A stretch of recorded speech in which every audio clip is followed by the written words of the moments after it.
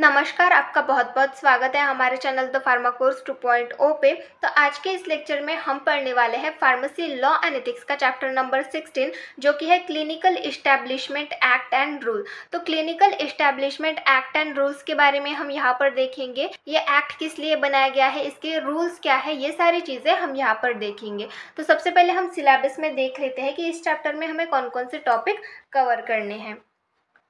तो हमारा chapter number sixteen है, जो कि है clinical establishment act and rules जिसमें हमें पढ़ना है एस्पेक्ट रिलेटेड टू फार्मेसी मतलब ये जो एक्ट है, ये जो रूल्स है, इसमें फार्मेसी से रिलेटेड कुछ एस्पेक्ट दिए गए हैं, उन्हीं एस्पेक्ट के बारे में हमें यहाँ पर देखना है।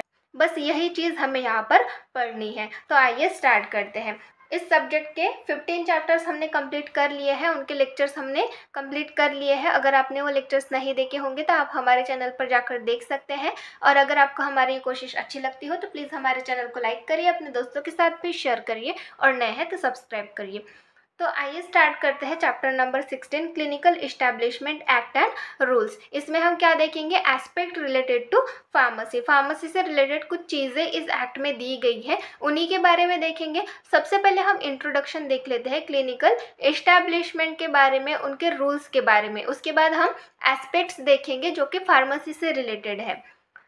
The Clinical Establishment Act 2010 has been established by the central government. तो ये जो Clinical Establishment Act है ये 2010 में establish किया गया है जो कि किसने establish किया है सेंट्रल गवर्नमेंट ने to provide for registration and regulation of all clinical establishment in the country तो ये जो क्लिनिकल इस्टेब्लिशमेंट एक्ट है, ये किस लिए इस्टेब्लिश किया गया है? To provide registration and regulation of all clinical establishment in the country तो हमारे कंट्री में जितने भी क्लिनिकल इस्टेब्लिशमेंट है, उनको रजिस्ट्रेशन प्रोवाइड करने के लिए, उनको रेगुलेशंस प्रोवाइड करने के लिए ये जो एक्ट है, ये बनाया गया है। With a view to prescribe a minimum standard of facilities and service provided by them. तो वो जो सर्विस प्रोवाइड करते हैं, वो जो फैसिलिटीज़ प्रोवाइड करते हैं, उनके मिनिमम स्टैंडर्ड्स जो है, वो यहाँ पर प्रिस्क्राइब किए गए हैं। ये जो एक्ट है, यहाँ पर प्रिस्क्राइब किए गए हैं। तो जो भी क्लिनिकल इस्टेब्लिशमेंट है उनके रजिस्ट्रेशन रेगुलेशन जो है, वो प्रॉपरली प्रोवाइड किए जा सके। उसके लिए ये क्लिनिकल इस्टेब्लिशमेंट एक्ट बनाया गया है। देन नेक्स्ट है some list of clinical establishment rule तो यहाँ पर हमें कुछ क्लिनिकल इस्टेब्लिशमेंट्स के रूल्स दिए गए हैं, उनके बारे में देखेंगे। सबसे पहला है the clinical establishment act 2000 ten तो क्लिनिकल एस्टेब्लिशमेंट एक्ट 2010 के क्या रूल्स हैं उनके बारे में देखेंगे।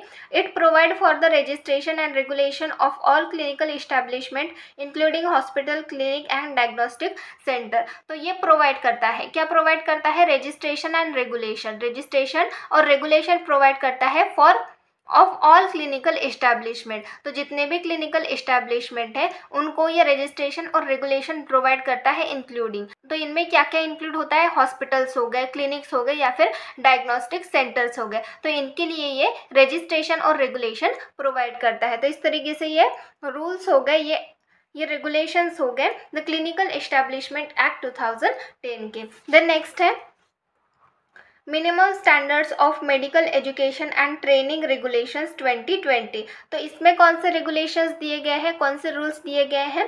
This regulation prescribe the minimum standard for medical education and training in India तो ये जो रेगुलेशन है, ये क्या प्रिस्क्राइब करते हैं?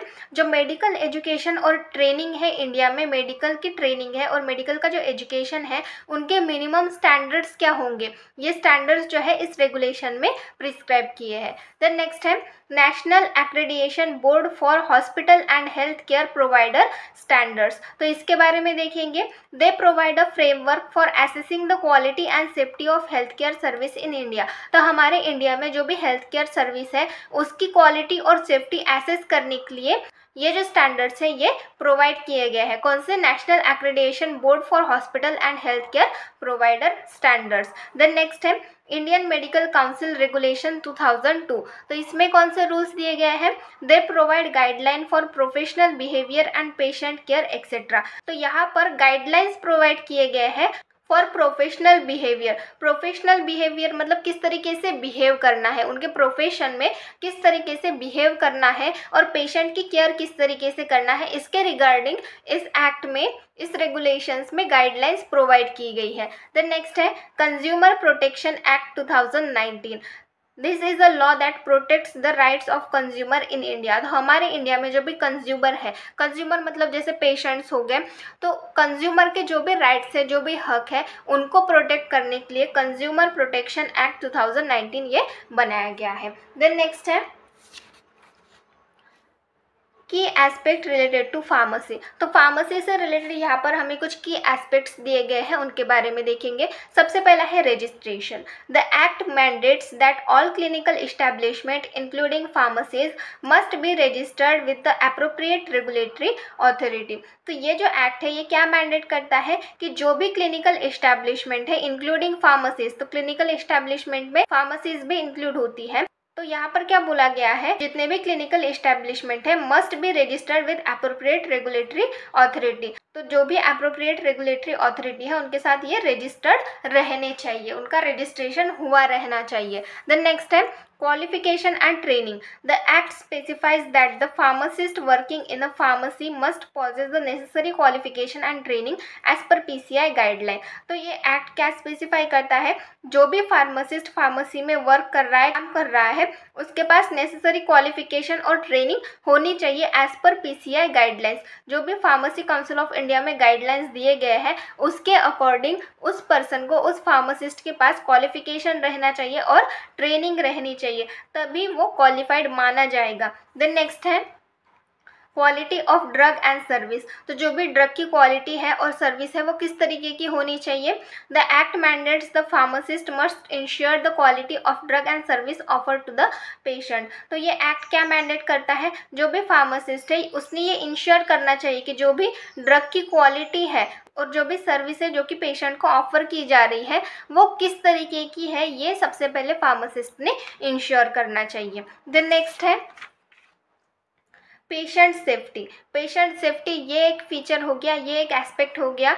The act lays down guidelines for patient safety in pharmacies तो ये जो एक्ट है, इसमें गाइडलाइंस दिए गए हैं कि जो भी फार्मेसीज हैं, वहाँ पर पेशेंट की सेफ्टी किस तरीके से देखनी है, किस तरीके से पेशेंट केयर करनी है, उसके रिगार्डिंग गाइडलाइंस हमें यहाँ पर दिए गए हैं। तो इस तरीके से ये कुछ की एस्पेक्ट्स होते हैं फार्मेसी से रिलेटेड क्लिनिकल इस्टेब्लिशमेंट में। तो यहाँ पर हमें जो भी टॉपिक्स दिए गए थे, वो हमने यहाँ पर कवर कर दिए हैं। तो आज के लेक्चर में बस इतना ही। नेक्स्ट लेक्चर में नेक्स्ट चैप्टर स्टार्ट करेंगे। Thank you